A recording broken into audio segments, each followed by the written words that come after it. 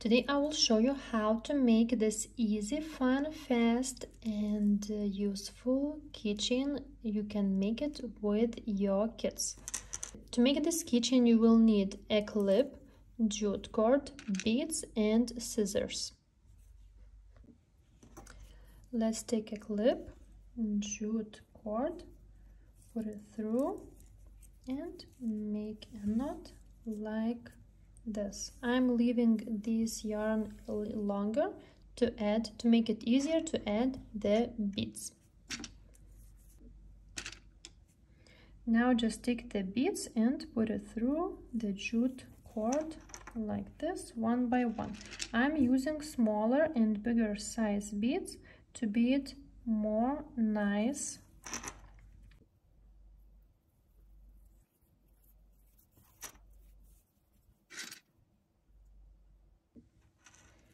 one side is done let's make another one.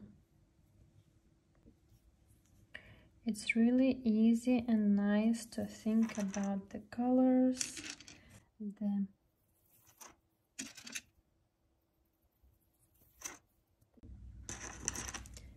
the second part is done. Now at the very end make little knots. Make maybe five or six of them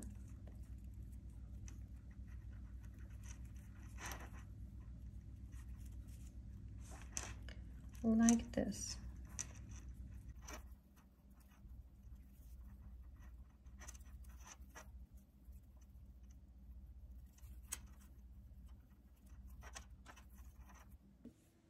And at the very end, cut what is left. Perfect, easy and fun craft to do it with your kids. Try it with your kids. What is more, these wooden beads can be perfect to release stress. I hope you liked it. Tell me if you liked it, if you would like to see more videos like this. You can prepare these keychains as gifts for your loved ones. Prepare these keychains for Christmas or birthday gifts.